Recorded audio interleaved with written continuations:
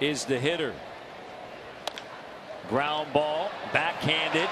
Donaldson momentarily loses it, scoops it up, and he gets DeShields as he looked Gallo back to second base. Boy, what a job by Donaldson. He's in the guard against the bunt. And watch how he smothers that ball. He goes down both knees just to get down and, and follow that ball right into your glove. Smothers that ball.